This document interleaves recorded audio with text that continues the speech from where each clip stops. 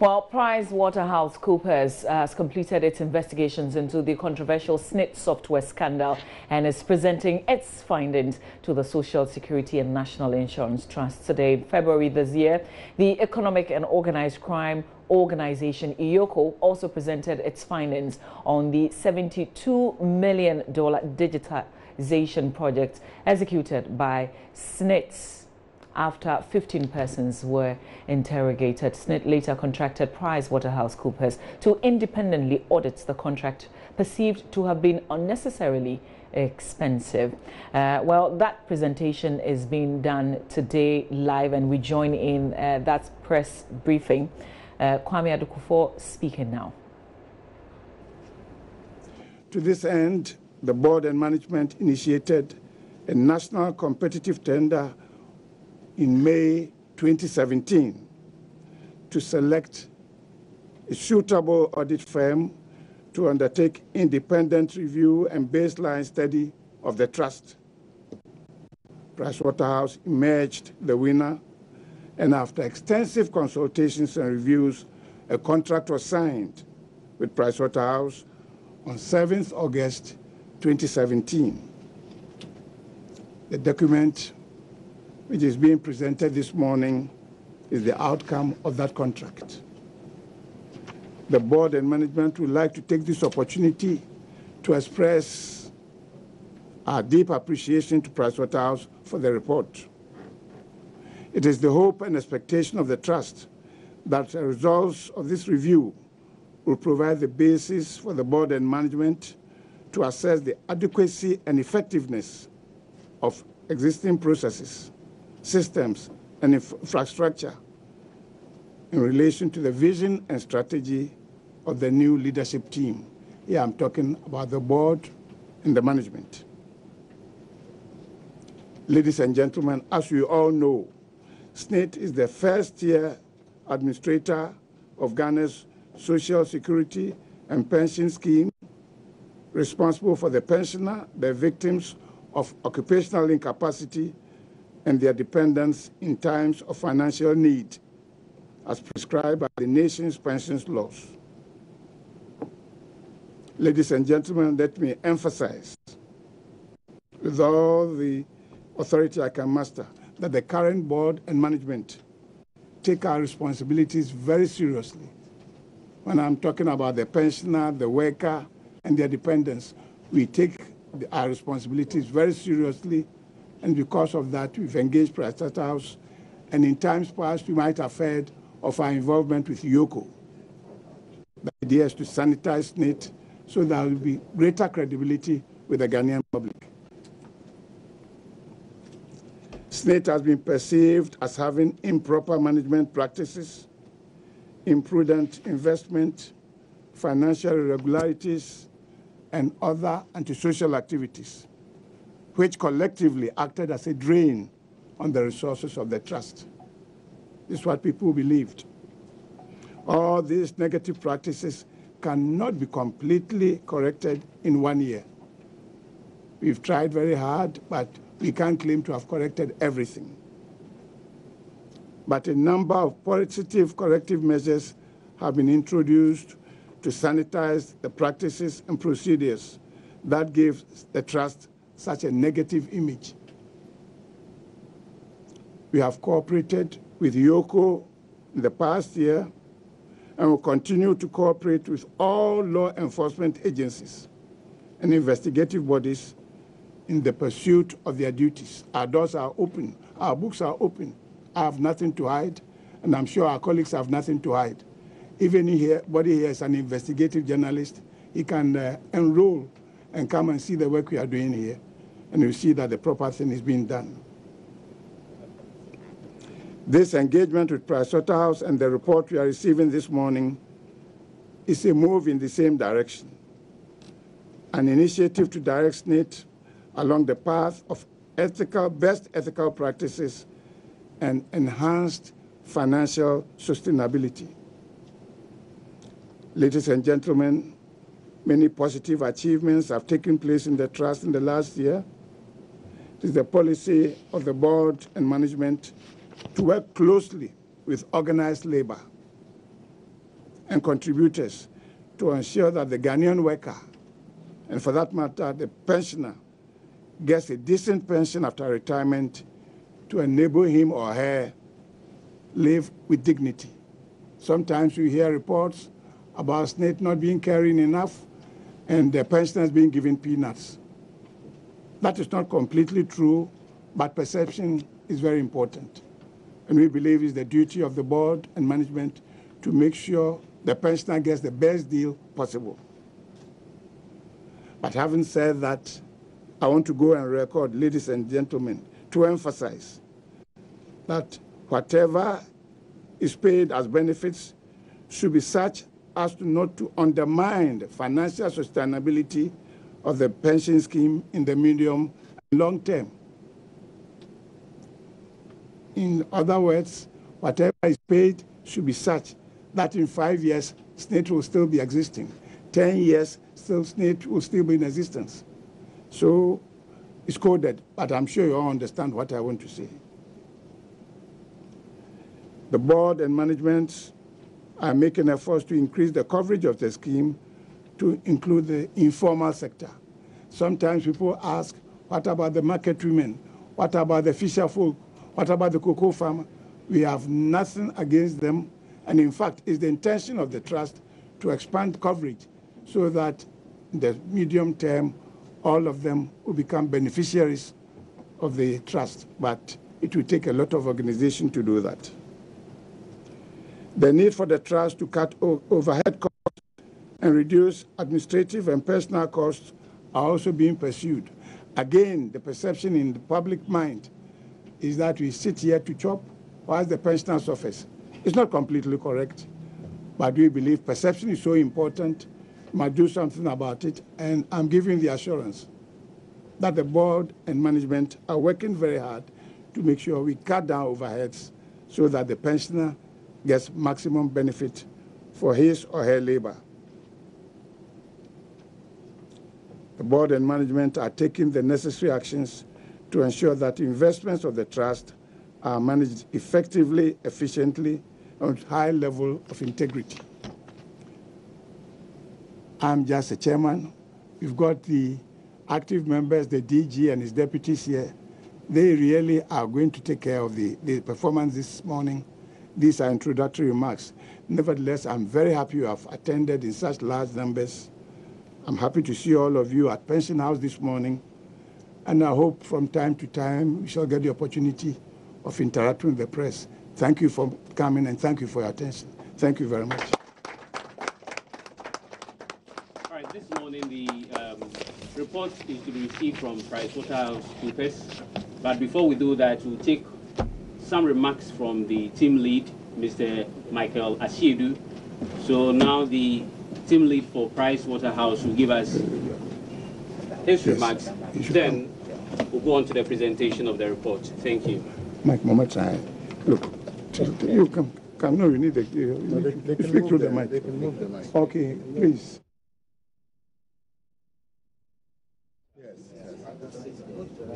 Oh, oh, he should. Oh, yeah. Ah. Okay. So you want to oh, swap?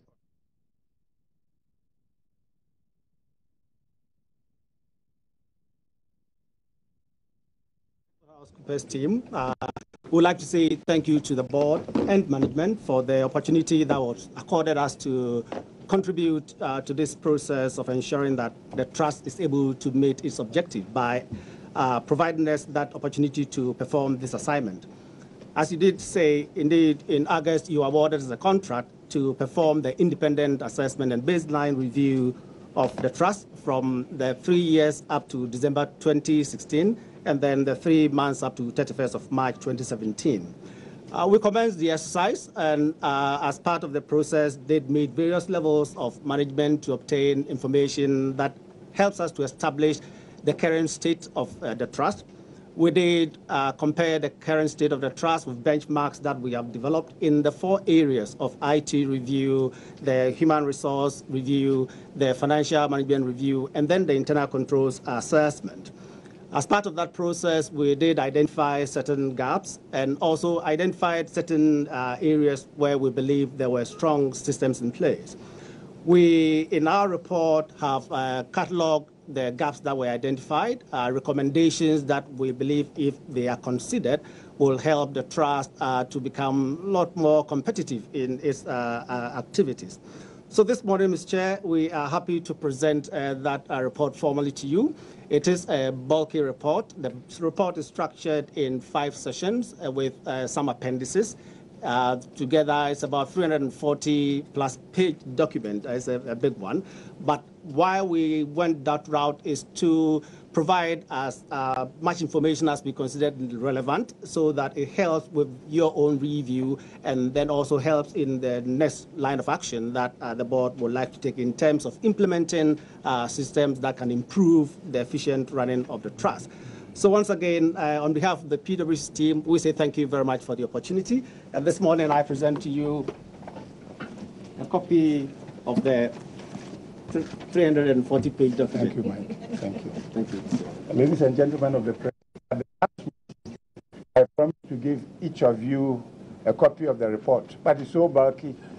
I would need a wheelbarrow to, to carry the books, so we are just going to talk and there will be no presentation of a report to take away.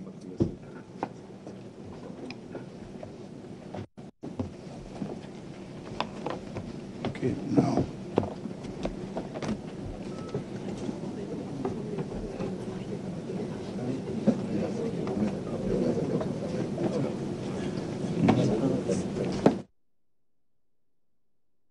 Um, we'd like to, once you are here, we'd like to have What? Which mic? Somebody's mic.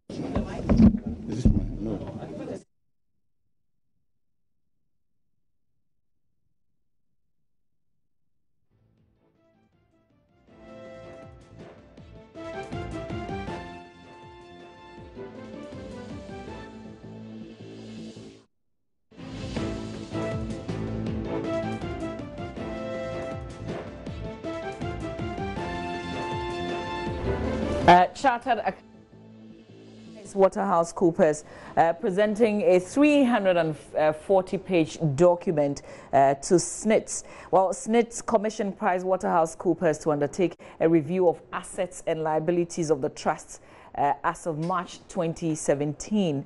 Uh, the PricewaterhouseCoopers were also to undertake a review and baseline assessment of SSNIT's ICT system Remember that, uh, that system that raised a lot of controversies. The exercise uh, also to enable SSNIT know the true state of its investment in the country. Well, they've come to the end of that and they are presenting their report. Is a 340-page report to SSNIT. Uh, people have been given the opportunity to, to ask questions now, so we join in in that press review. I would have thought that we have something from the report so that in asking the question we will know specifically what we are talking because now it appears we don't know what is in the report. Yeah. Apart from the fact that um, the gentleman from PwC said he identified some gaps in some areas um, which were strong. So maybe I will ask him if he can tell us about those gaps starting so that we will have some issue. So, Michael, I think you should be sitting here. Yes. Yes. Michael, you come, come and sit. And then take a seat. Take, take your questions. Well, th th th thanks, uh, Mr. Chair. Uh, indeed, I did mention that we identified uh, uh, gaps and also some strong points, and in the report have uh, stated clearly what those gaps are. Um, I would not be able to give you any specific details because, again, uh, we have prepared this report for the board and management and it is them that we have, uh, you know, catalog what we have found. And uh, I would say, perhaps from our end, all we can say is that the report contains everything that we found at, as the state of affairs as a SSNIT, and then what we consider to be uh, recommendations that can help SSNIT become a much better organization. So uh, that's all I can say to you this morning. Thank you. My name is Obin of course, you are not willing to talk to us about what is in the report. But obviously, look, look, you are aware of, of the controversy that came out not too long ago about 72 million dollar software project. What can you tell us about that? That.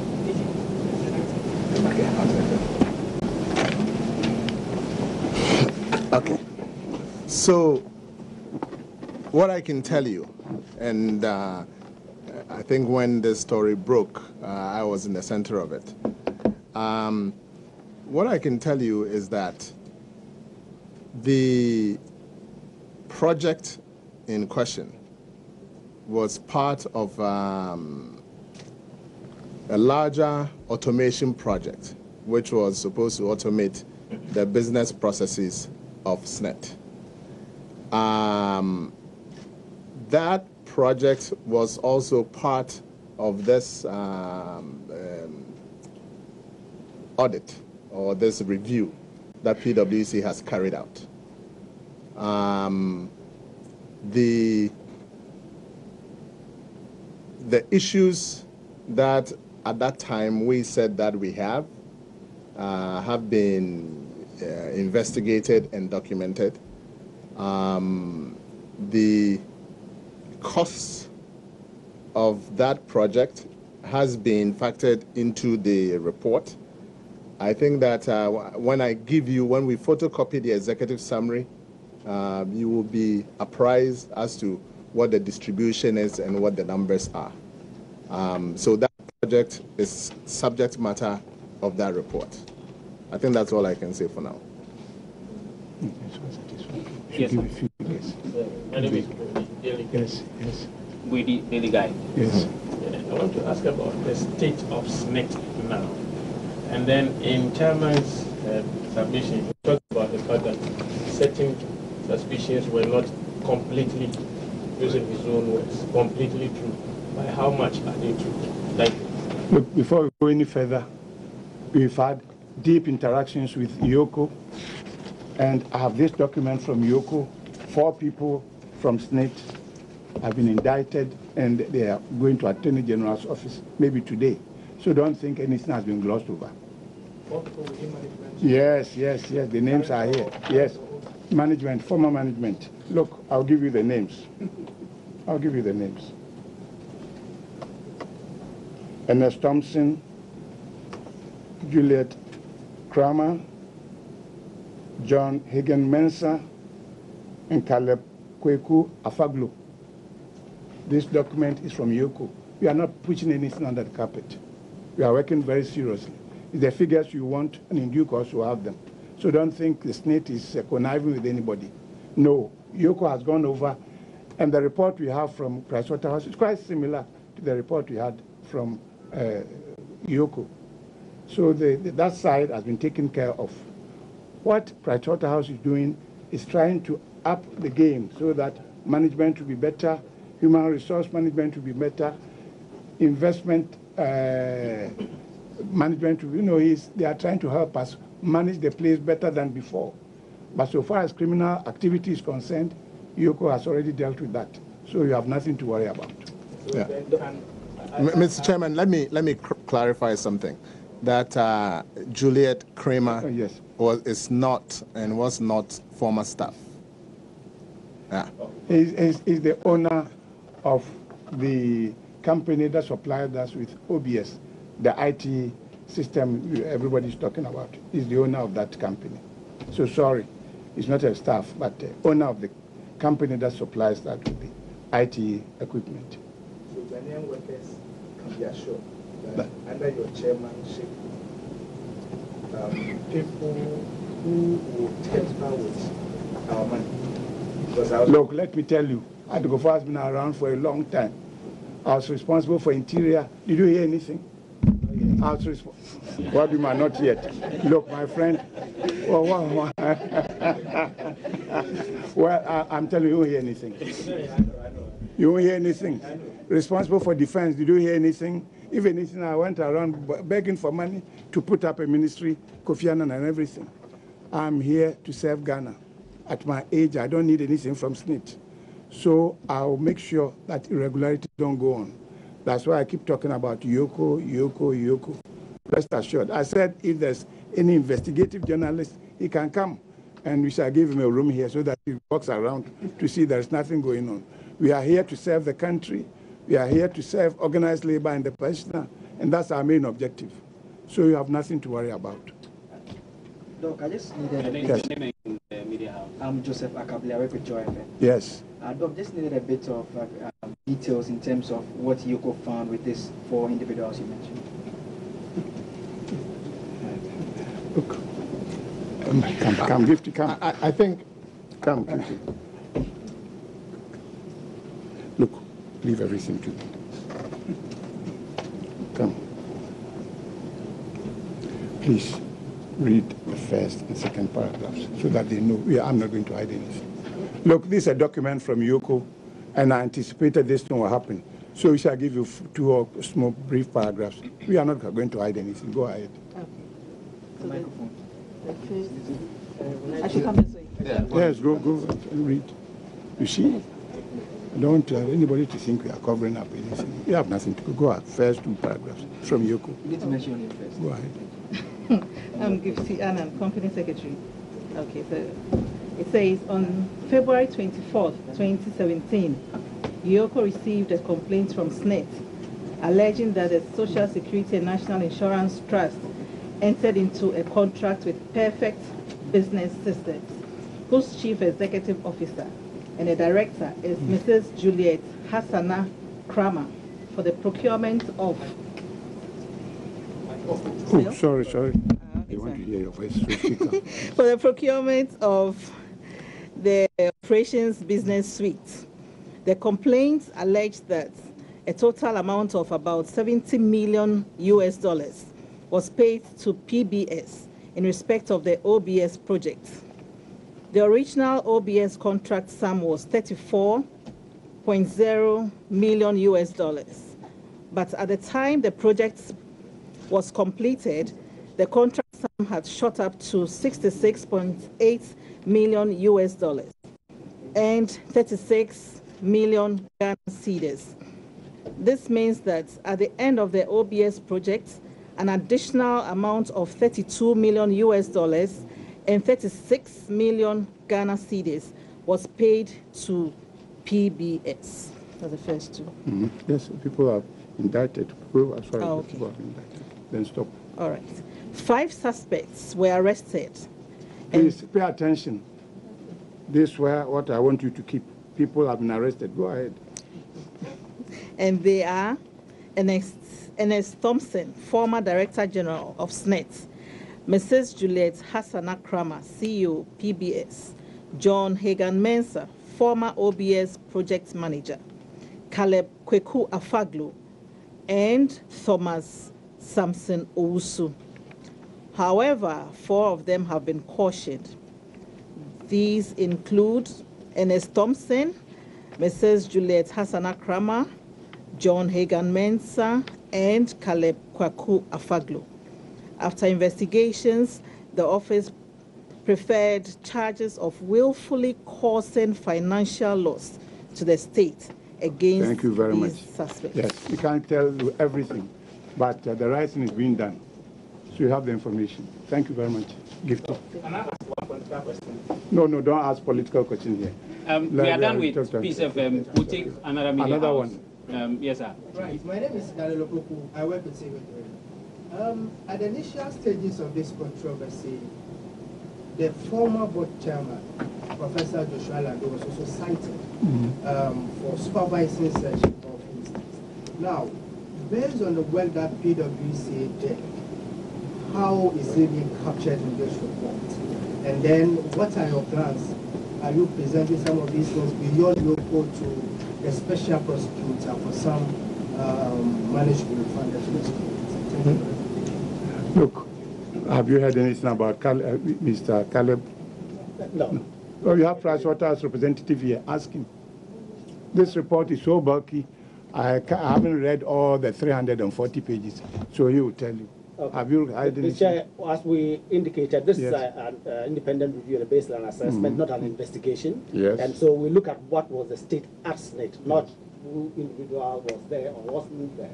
Uh, that's what EOCO has done, and so I think that perhaps might be in the EOCO report, but Okay. not in our report. Thank you very much, Mike. So, Next. In terms of PwC putting together their reports, uh, some of the names you mentioned, you realize they played an integral part Mm. in uh, securing that software. I just want to find out whether PwC engaged them and. Uh, No. We have stated in the report that for any employee who is not currently in the employment of SSNIT, we haven't spoken to that individual. And that's the No, that's fine, Mike. Thank you very much. Yes, next. Last two questions. Yes, Mr. Chairman, I'm Nana Yabodi. from Um, let me say, concern um, I'd like to know uh, one year in action, some of your new achievements and some of the things that you have put in place to check corruption. Mr. Chairman, let me take Yeah, that. yeah, I'll take that. Yes. So, yes, we've been in uh, the seat for about a year. And um, so I'll start from when we came, for example. We were having even trouble paying uh, pensions and salaries. Look, you've been asking questions. You must listen to the Director General so that you have something to tell the Ghanaian public. Right. Okay? Mr. Michael Ado here, who is my Deputy Director General in charge of Finance and Administration, will tell you that uh, each time we have to make certain payments, we have to disinvest uh, some of our near cash instruments in order to raise cash to pay. Um, I can assure you that as at today, uh, we've been able to build a cash reserve, which is about a billion Ghana cedis, one billion Ghana cedis, in our treasury uh, um, instruments. And then I can also tell you that our management accounts from last year, 2017, compared to 2016, show that in 2016, the total, the fund lost value to the tune of about 18 to 19 million Ghana cedis. In 2017, our management accounts show that we added about 900, 978 million Ghana cedis to the fund. So whereas 2016 was a loss, 2017 we added about 978 million Ghana cedis to it. Um, in broad terms, th- I mean, those are two figures that basically puts everything in context. We've done a lot of other things, such as we've cut a lot of expenses. Uh, travel. There was, uh, in, in 2016, where is my? I don't have my thing here. And you have figures. The travel budget, have uh, I may have something here.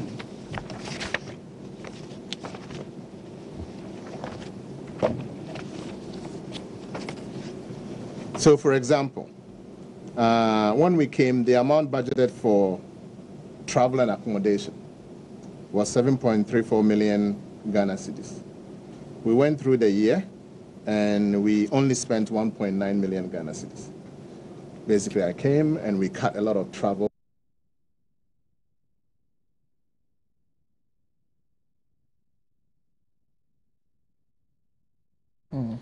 Uh, and you had the, the uh, current Director General of SSNITs uh, at a press briefing where Price Waterhouse uh, Coopers presented a 340 page report. Uh, this is coming after they were commissioned uh, to uh, you know, check the status of SSNITs after the new administration took over. Uh, we've been hearing very much the chairman of the SSNIT Board of Trustees, Dr. Kwame Addo Kufuor, uh, and then the current Director General of SSNIT, Dr. John Ofori Tenkorang, receiving that report from PricewaterhouseCoopers. We've gotten a lot of assurances uh, that nothing is being covered up at SSNITs uh, in there. But uh, we also know, do know from the lead presenter of that report from PricewaterhouseCoopers that some gaps have been identified, but also recommendations being made. Uh, and then uh, the chairman of the SSNIT board, Dr. Kwame Addo Kufuor, also revealing that EOCO is leading the criminal investigation into uh, happenings at SSNITs. Uh, with three former workers, including the former Director General, Ernest Thompson, also indicted by EOCO and a supplier of SSNIT as well. There will be more details to share in the coming hours, uh, but stay with us. We've got uh, Joy News Interactive with Mapitu Sibidi coming up. That's it for News Desk today. My name is Mama Vio Keep watching Joy News.